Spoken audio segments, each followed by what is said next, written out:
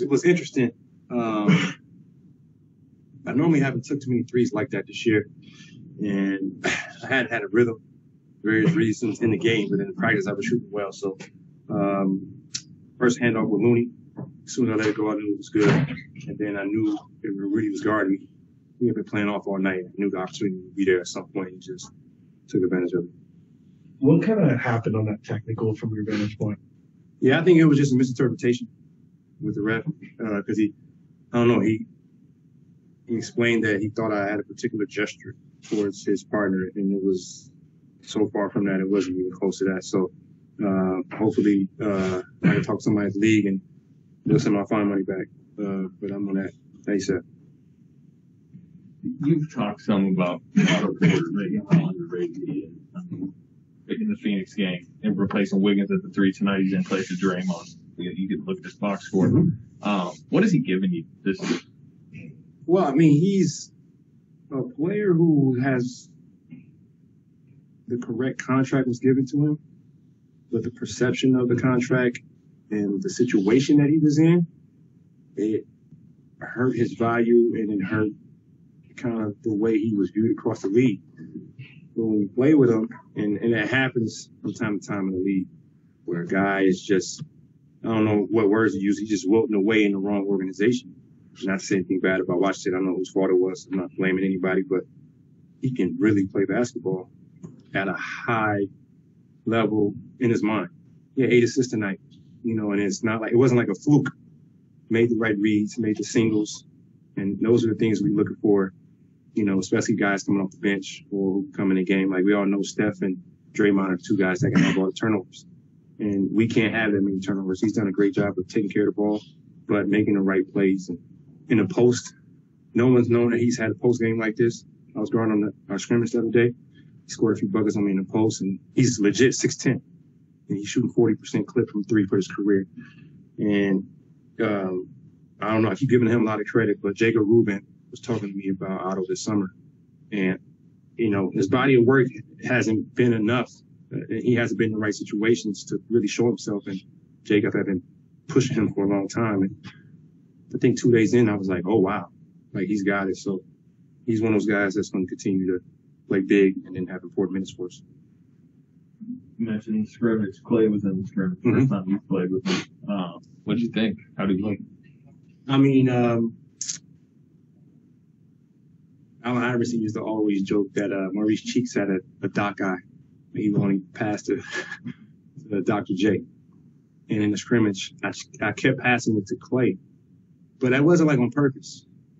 And it, like the fifth, sixth time, I'm like, I'm not trying to pass to him, and I just keep finding him, and he just keeps going. And Wiggs and I were talking about it after the game. I'm like, I, I kept getting assists from him, but I wasn't looking for him. He was like, bro, he doesn't dribble. I'm like, you know what it's going to open up for other guys? And he was like, it's just, it's just crazy, but we got to get through the bumps in the road because that comes with anything that you do in life, and there's going to be some bumps. So we got to just fight through those and keep ourselves at a steady level with our minds and, you know, because you can win a lot of games in the regular season and then you can blow it in the playoffs. So we just got to keep focusing on not just winning the game, but playing at a high level every single night. And even if we lose, I'd rather lose at a high level than win a bad game. So we just got to keep playing high level basketball. There's a, it's always felt very far off play, and you guys have had to purposely kind of try to push it, you know, in the future. But it, it obviously feels very close now. Mm-hmm. He's scrimmaging with you. Are you gaining anticipation for it? Um, I've told myself to like not have that too much anticipation because everyone was, you know, reporting different things, and you know, you don't know that the toll it takes on a person trying to get back, and you're hearing so much about yourself. Like even if he's not looking for it, it's there's just so much news. It's going to enter your you know, your little bubble or whatever you try to do to stay away from it. It's going to seep in. And I've tried to not do that with him with our interaction. You know, I've always tried to, you know, keep helping him push forward from that day. Because certain you can have some bad days because it's really tough not playing for two years. You're so close. And it's just like some days it's just like world's going to closing in on you because you've just been doing this for so long and you haven't touched the floor. So I think he's done an incredible job uh, with the balance, um, uh, understanding the process of getting back, Uh, he's been doing a hell of a job. Uh, this, this, you know, this go around with the rehab, what, what happened at the first time. And, uh, I know he's excited, but the scrimmage was a good thing because he wasn't rushing, wasn't trying to do too much. And, you know, he's getting the, you know, I'm there. I'm looking out for him and making the game easy. He's making the game easy for other guys. So it's fun. What have you thought about what Kevon's done for you guys this season? Does he look as healthy as he's ever looked to you? Yeah, he's kind of um he's taking this approach off the court that you know, like basketball has kind of taken over, you know, his lifestyle in terms of getting healthy. Like he does yoga, he does uh, Pilates, uh, he's meditating, you know, he's, you know, figuring out his diet. He has this interesting diet, uh, with his body that he's trying to figure out. He's like one on one on earth with his, how his stomach works. So, uh, he's, he's the, the prototype for how you try to get the most out of your career as an NBA professional, doing all the things off the court that will help you on the court. And, um, he's, he's just truly dedicated.